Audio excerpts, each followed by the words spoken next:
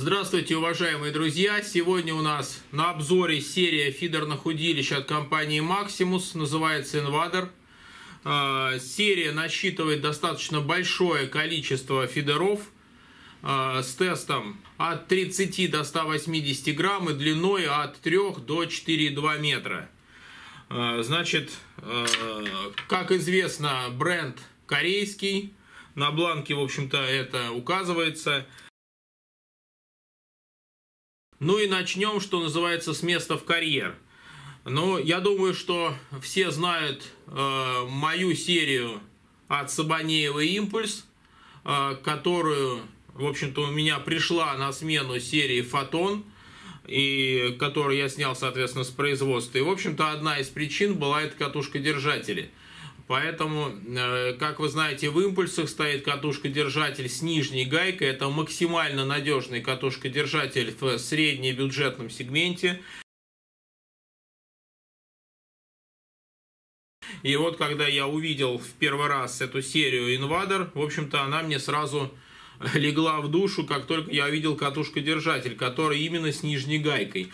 Я не говорю, что этот катушка-держатель какой-то современный, да, или там последние технологии, совсем нет. Я говорю это за надежность, больше ни за что а, потому что все-таки, э, скажем так, в, бюджетных, в бюджетном, в среднебюджетном сегменте а, катушка-держатели с верхним форогриппом, то есть когда верхняя гайка закручивается, часто делают производители не очень, ну, ставят не очень дорогие, выбирают для производства не очень дорогие и, соответственно, ненадежные. Поэтому, а, если уж ставить такой держак, да, с верхней гайкой, то он должен быть дорогой, соответственно, ну и качественный, да, соответственно, и цена удочки возрастает. Поэтому, с моей точки зрения, лучше ставить нижнюю гайку вот такую, чем, э, скажем так, бюджетный катушка-держатель, которая будет у вас час частенько ломаться. Поэтому здесь стоит нижняя гайка. Ее плюсы. Первое – это максимальная долговечность. То есть никаких проблем я не знаю, что, что когда-то с ней когда-то происходило. Во-вторых, она позволяет часто, именно эта модель, а, широко раздвинуть лапки держака для того, чтобы сюда установилась катушка практически там 5-6 тысячного размера, а некоторые даже, ну кому там особо это нужно, 7-8 тысячники. Поэтому, э, скажем так, э, убивается два зайца, как говорится, да, и надежность, и, в общем, универсали, универсализм. Э, далее, по бланку. Ну, для почитателей, скажем так, корейских заводов и корейского производителя, я думаю, многие знают и по Black Hole и так далее, что по качеству, главному качеству, это надежность и серьезных дефектов здесь, в общем-то, быть не может, потому что все-таки славится достаточно хорошим качеством. Единственное, что здесь может встречаться, э, ну, просто вот по моим, скажем так, по моей работе с Кореей, да, с корейскими заводами, это какие-то декоративные вещи, то есть залаченное колечко где-то, чуть-чуть какой-то подтек лака, то есть, скажем так, то, что на полет не влияет, так сказать. Поэтому, в общем-то, этим можно пренебречь. Но самое главное качество того, что у вас не будет здесь какой-то воздушной каверны, от чего при забросе сломается фидер, да, либо часто бывает так на дешевеньких китайских э, фидерочках, там, я встречал это на той же Кайде, например, э, когда смотришь торец, то или место слома, да, то видно, что в одном месте стенка толще, а в другом тоньше. То есть это уже качество припрега достаточно плохое. Здесь вот такого быть не может. То есть что сразу внушает доверие, это надежность. Это мощные палочки такие, когда берешь в руку и понимаешь, что, в общем-то, они с тобой и в огонь, и в воду пойдут. Значит, дальше. Здесь у нас идет пробочка ну, достаточно, скажем так, качественный на обои. Не могу сказать, что это вот прям что-то сверхъестественное, но по отзывам да, владельцев я ими как бы часто долго не ловил, я имею в виду, но по отзывам владельцев и видя э, своими глазами, когда нам приносят эти фидера, э, да и у знакомых моих, да, что ну, серьезных каких-то проблем с этой пробкой нет. Главное, не забывайте снимать полиэтилен. Э, дальше идет качественная Эва, небольшое утолщение и, соответственно, торцевая пробка из резины с лейблом Максимус.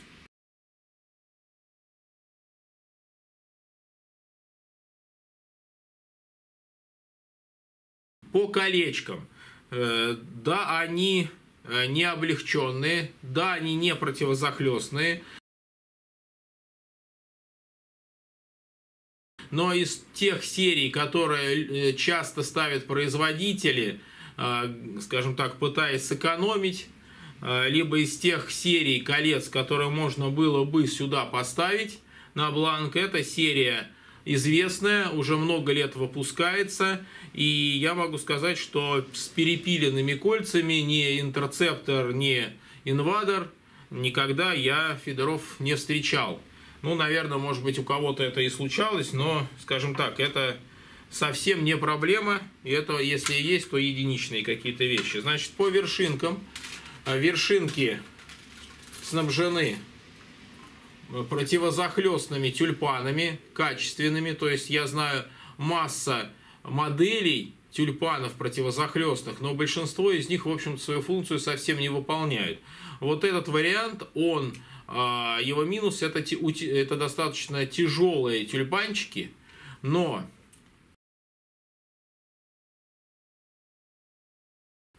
э, если это был бы лайт фидера, или пикерочки совсем нежнейшие там, да, то это еще можно было как-то скажем так, сказать, что вершинка будет перегружена и тому подобное. На этих фидерах с такими тестами это как раз то, что надо, в общем-то. И они совершенно не портят чувствительность, не портят картины. В общем, э, это те тюльпаны, которые действительно выполняют свою функцию, они действительно препятствуют перехлесту и поломке вершинки. Дальше идут пропускные кольца, соответственно, они средние, но это вот тот, та золотая середина, что нужно. Я тестировал эти фидера с плетней 0.13 и шоком 0.3, то есть даже на этом узле совершенно спокойно все пролетает, и щелчка я не слышу, при подмотке все пролетает точно так же назад, поэтому если вязать правильным узлом, а вот, а кто не знает, пожалуйста, посмотрите в обзорах и советах на канале Мультифиш у меня на сайте. Э, не на канале Мультифиш, на сайте Мультифиш есть рубрика обзоры и советы. Вот э, там э, прям досконально показано, как вязать правильный узел, как привязывать, привязывать шок-лидер, плетня плюс монолеска, потому что узлы разные, есть плетня к плетне, моно к моно. Вот э, я, я как бы ловлю с шоком именно из э, монолески и основная у меня плетенка. Значит, э, по, соответственно, три вершинки идут к каждому фидеру. Маркируются они достаточно просто, в граммах. И, наверное, давайте сразу приступать уже, э, как мне люди просят, к измерениям. Дальше мы их разложим, как обычно. Посмотрим их строй. Ну, давайте вот начнем, значит, с 360-90. Колечко крупное, нижнее. Соответственно, можно сюда катушечку ставить совершенно спокойно, хоть шеститысячную. Все пролетать будет хорошо. Э, критического никакого угла для лески, для сброса лески не будет. Можете быть в этом спокойно. Значит, по диаметру колечко. Что-то у меня тут сбилось чуть-чуть. Так, по, по диаметру колечко 20, ну 25 оно считается. Дальше диаметр рукояти 25. И расстояние теперь от кольца до центра держателя 50. И, и длина рукояти, тоже немаловажный момент для людей, у кого может быть длинные руки, либо наоборот короткие. 54 сантиметра, чтобы люди подбирают под себя, в общем-то, длину рукояти. Это важный момент. Э, значит, по вершинкам здесь идет два стекла, это 30 грамм и 60 грамм. И, соответственно, 90 грамм у нас будет карбоновая вершинка. Следующий 390-180 а, тест.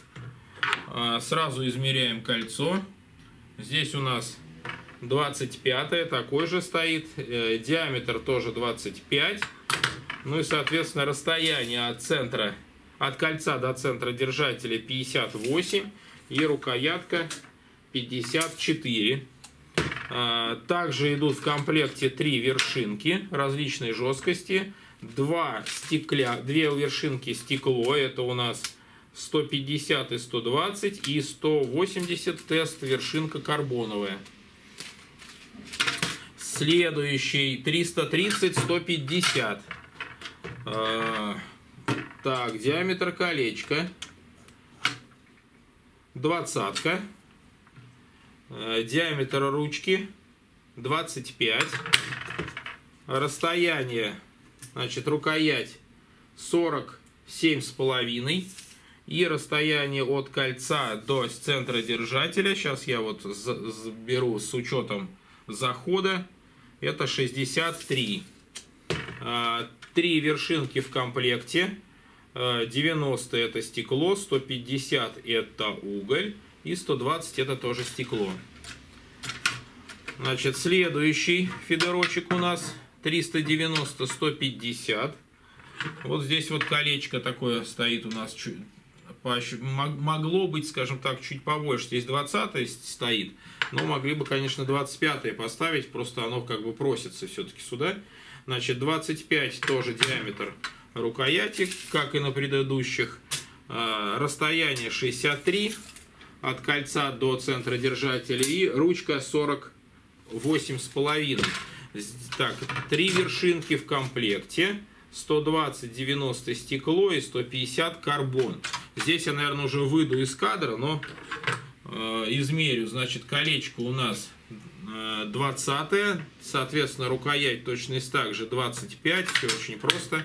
Расстояние от кольца до центра держателя 56 и ручка у нас 48 с половиной. Три вершинки в комплекте. 90 и 120 стекло и 150 карбон. Следующая модель 300 до 120.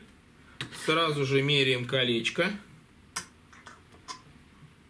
Полтора. Ну, соответственно, рукоять 25, как и у всех. А, расстояние от кольца до центра держателя 55. А, ручка 42 с половиной. А, три вершинки в комплекте.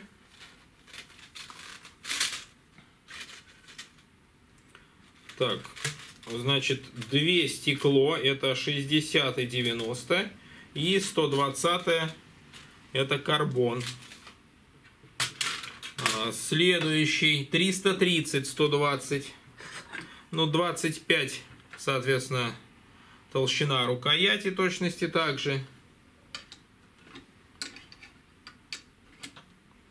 20 колечко стоит. Расстояние от кольца до центра держателя 60, рукоять 48, а, три вершинки, а, значит, у нас стекло 60 и 90 и 120 это карбон. 300 а, до 90, следующая моделька. Расстояние от кольца до центра держателя 59 и рукоять 42 с половиной. А, колечко полтора. Три вершинки в комплекте. 90 э, карбон, 60 и 30 уголь. Э, следующий э, 330-90. Расстояние от кольца до центра держателя 69. Рукоятка 42 с половиной.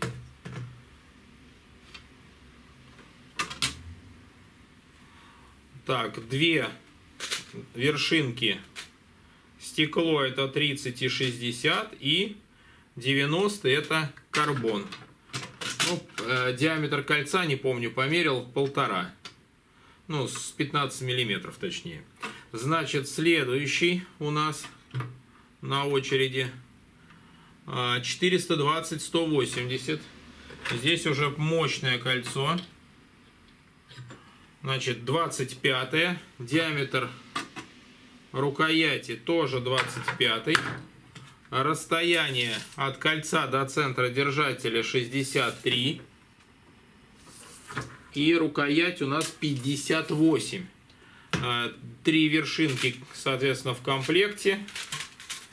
А, стекло это 120 и 150 и 160, 180 это карбон. Дальше я, наверное, уже из кадра вылезаю, но дальше измеряем 360-120. Расстояние от кольца до центра держателя 56. Рукоять 48 с половиной. Диаметр 25 рукояти. И 20 судя по всему, колечко. Да, 20 Я как бы могу вам и наизусть все это сказать, но люди почему-то просят мерить. Прям при них. Ну, как просят, несколько человек. Вот, кто впервые, видимо, подписался на канал. Значит, 60, э, 90 стекло, 120 карбон.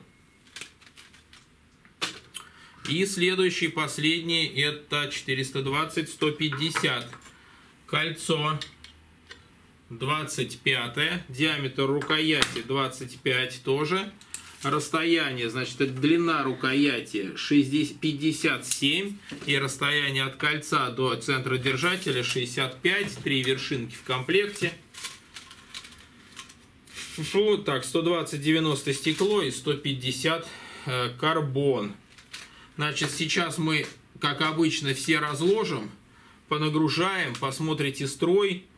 Э, значит, по запчастям пока проблем не было. На всякий случай скажу, что для покупателей официального магазина мы, мы берем у официального дилера Федора Максимус.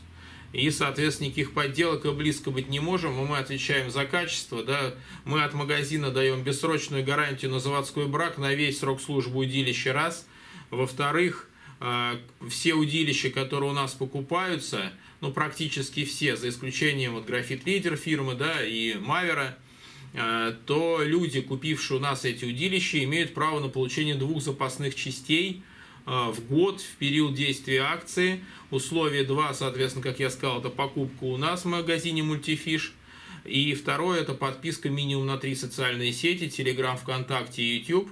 И желательно Instagram, Facebook и Рутюб. И при этом, э, когда мы объявляем об акции, которую мы проводим уже два года, на разные абсолютно. Это и Сальма, и Фидер Концепт, и Дайва, и Major Craft спиннинги, Lucky Джон и много-много всех еще, всех всего, Black Hole тот же самый. Люди э, заставляют заявки, бесплатно мы им высылаем эту запчасть, если не могут забрать самовывозом. Кто живет в Москве, приезжает, забирает. Об этих акциях мы объявляем только в социальных сетях и, соответственно, в разделе новости на сайте Мультифиш.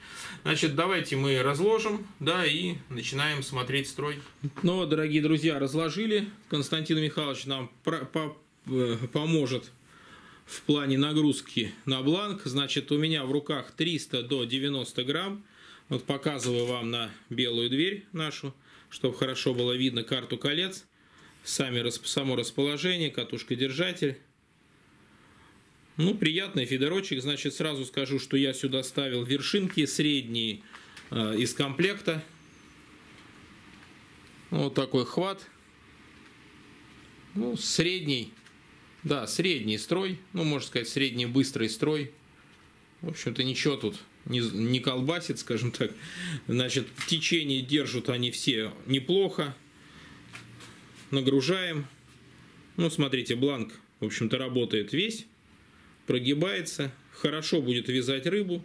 А за счет диаметра, достаточно немаленького, и вершинки, и верхней части, будет держать неплохо Э, течение. Да, по э, моим тестам, скажем так, вот эта палочка небольшая, да, она раскрывается, в общем-то, даже 28, там, 30 грамм кормушка уже прекрасно летит. Значит, следующий 330-90. То же самое построю, просто чуть длиннее. Ну, соответственно, дистанция заброса у, у этого Федорочка, я думаю, что где-то, ну, я вот конкретно им не помню, что я именно за сколько бросал, да, но ориентир это в районе 40 метров э, максимум, я думаю. Значит, нагружаем. Ну, то же самое, видите, то есть вся серия, она, в общем-то, имеет идентичный строй. Э, кому-то он нравится, кому-то не нравится, но, тем не менее, если бланк был бы тоньше, то струю и течение он бы держал плохо, а здесь, в общем-то, мы имеем неплохо, неплохие показатели. Значит, 360-90, здесь уже крупные кольца. По строю, ну, то же самое абсолютно. Значит, по бросковым качествам фидерочек хорошо уже бросает 42 грамма плюс корм. Значит, сразу э, вопрос по перегрузу. То есть по перегрузу, с моей точки зрения, все-таки берите эту серию в рамках теста, потому что некоторые модели при серьезном перегрузе, там где-то 30%, начинает уже валиться серединка. Поэтому, скажем так, э, не стоит э, брать с запасом, с большим, лучше просто поднимитесь с фидером по тесту. Значит, ну вот конкретно вот эта моделька 90 грамм плюс корм она бросает, поэтому можно считать ее даже по меркам той же волжанки 90 плюс. Ну и, естественно, обязательно это должен быть у вас плавный бросок с постепенным ускорением, никаких там маятников из головы резких, выхлестов спиннинговых быть не должно. Ну вот смотрите, вот такая работа бланка. Хорошая, бюджетненькая серия, универсальная. Значит, следующий 300 до 120 уже грамм. Это единственный фидер, у которого, к которому у меня есть вопросы и негатив. А, почему? Потому что 120 грамм я на него вешал, даже 100, он у меня особо не бросает. То есть это либо вы бросаете, вы ловите очень близко от берега и фактически рукой бросаете туда кормушечку, э, либо, соответственно, э, ставите просто меньший вес. То есть вот он хорошо бросает 40 грамм, тире примерно 70 э, чистого веса кормушки. Нагружаем. Видите, то есть это такой вот пикерочек. И я, кстати, держу очень достаточно слабо. И видите, как он уже весь бланк. То есть, скажем так, здесь тест, с моей точки зрения, написан на бланке завышенно. В реальности он меньше. Значит, следующая модель 330-120. Здесь то же самое, абсолютно по тесту. То есть, также тест завышен. И, соответственно, работа здесь в идеале это до 70 грамм. Ну, 90 вы можете сюда кормушку поставить э, по свинцу, да, но, соответственно, дистанция заброса у вас будет там 25-35 метров, ну, не дальше. Дальше уже он будет валиться. И то это зависит от броска, соответственно, ну, от техники. Видите, вот чуть-чуть мы уже нагружаем, я не так сильно даже держу, видите? Вот он уже практически отрабатывает полностью до рукояти. Значит, 360-120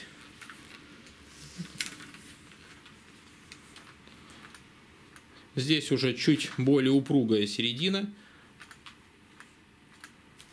Давайте загружаем. По тесту здесь написано, соответственно, то же самое 120. От 40 грамм он работает прекрасно, он начинает уже бросать. Идеальный его вес э, кормушки без корма 50-70 грамм. Э, до 90 я бы даже сказал, то есть если это небольшого объема кормушки. То есть, э, скажем так, ставить на него кормушку 120 большого, ну, там, скажем так, выше среднего объема э, и пытаться забросить очень далеко не нужно. Поднимитесь по тесту выше, возьмите до 150. Значит, 390-150. Одна из самых востребованных моделей. Вот, одна из самых востребованных моделей. Видите, как сказал, так из рук выпало. Э, скажем так, плюсы ее, то есть она реально по тесту, это палка бросковая, она любит, чтобы ее хорошо прогружали, и при этом она будет очень хорошо у вас швырять. Э, по, скажем так, весу кормушки от 60 грамм до 120 она работает. Видите, совсем другой строй, вы смотрите. Видите? Она уже, я держу уже две руки применяю для того, чтобы давить, и она, соответственно, работает уже чуть иначе, чем предыдущая. Мордочка работает больше, а дашка уже загружается очень упруго. То есть эта палочка уже соответствует тесту. Значит, дальше 420-150. Ну, в руках лежит, ну, скажем так, даст, э, ну, чуть, э, хотелось бы чуть полегче, конечно. То есть, эта палка для того, чтобы она стояла на стойках, на подставках. То есть, с ней в, темповом, э, в темповой работе это не половишь, но, соответственно, и серия сама все-таки среднебюджетная, поэтому имейте в виду. С вас никто огромных денег, то есть то, чтобы с, таким, с такой длиной, таким тестом фидер был легкий, он должен стоить раза в 4 дороже. Значит, 420-150 Видите, строй здесь такой же, средний, быстрый. Мордочка достаточно посылистая, течение она держит хорошо. И, в общем-то, тест тоже соответствует написанному. То есть работа кормушек идет от 70 грамм до 120 грамм. Это идеально, он бросает и бросает при том так на хорошие где-то 70 даже метров можно им забросить. Нагружаем. И опять же, видите, смотрите, сразу вверх работает. И дальше уже, уже упруго. Я опять принимаю, применяю две руки. Видите? А если сравнить вот с предыдущим, где я говорил, что неверно указан тест. Смотрите, и амортизация относительно есть достаточная. Да, и в то же время палочка такая хорошо любит, чтобы ее загрузили и с таким неплохим запасиком. Э, значит, 360, 150. Вот эта палка очень мне нравится по как она лежит в руке. Если вы выбираете вот фидер с таким тестом именно, да, то присмотритесь именно к этой модельке, потому что бывают все их часто удачные и менее удачные модельки. Вот эта вот моделька, она прям вот супер, супер-супер заходит и по кольцам, видите, и по карте колец, и по диаметру. То есть она и по строю, видите, то есть это чистый речник такой. Я бы сказал, что здесь строй не средний быстрый, а уже ближе к быстрому. Видите, она посылистая, она хорошо загружается, хорошо вкладывается. Нагружаем. Да, кстати говоря, по работе от 42 грамм, 40-40-50 грамм начала и до 120. Если вы будете аккуратно бросать, вы можете чуть-чуть даже их, его перегрузить. Но никаких резких выхлестов спиннинговых быть не должно. То есть вы бросаете а, с плеча с постепенным ускорением. Значит, следующий 330-150. Тоже палка приятная для ближнего боя, так сказать, для течения ближнего, для ближе, ну, э, дистанция до 40 метров – Э, прекрасно забрасывает она, хорошо она грузится и хорошо, в общем, как катапульта выстреливает. 150 тест здесь реальный, но ну, я бы сказал, там 140, наверное, где-то вот так, чуть-чуть бы я пониже его дал, но за счет э, самого материала она, в общем-то, терпит небольшой перегруз, поэтому 150, если вы будете бросать общего веса, то, в общем-то, проблем не будет. Имейте в виду, что вся серия э, тест указан общий, то есть без плюса, просто есть небольшие отличия в разных моделях. Ну, строй как сами видите, среднебыстрый, ближе к быстрому. Ну и вот загруз, смотрите. Ну, видите, то есть чуть-чуть она иначе грузится, чем все остальные. И тоже палочка очень неплохая. Так, и у нас остается еще две даль... таких дальнобойных артиллерии. Это 390-180.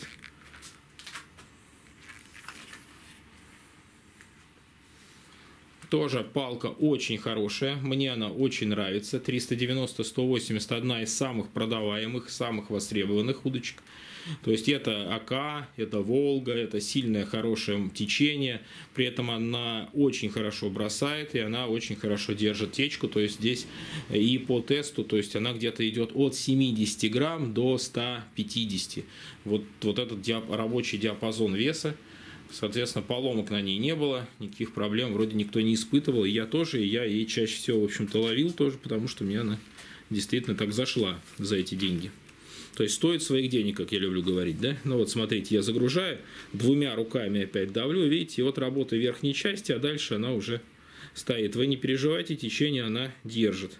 То есть второе коленце у вас уже как, как бы на самой жесткой вершинке чуть-чуть подзагнется, но не критично, то есть поклевочки вы увидите. Значит, и последний, это у нас 420-180. Такая мощная палка, это дальние дистанции, 70 метров. Она может бросить и на 80, зависит от вашей силы, потому что палочка мощная и, в общем-то, не, не совсем легкая, но, тем не менее, бросковая. Э, это вот дальние дистанции, это течение серьезное. По тесту она соответствует абсолютно, то есть 70 грамм она только начинает раскрываться, и где-то до 150 она работает. Плюс корм, соответственно. Нагружаем. Ну, двумя руками я упираюсь. Видите, мощная, хорошая палка с такой хорошей упругой средней и нижней третьей части.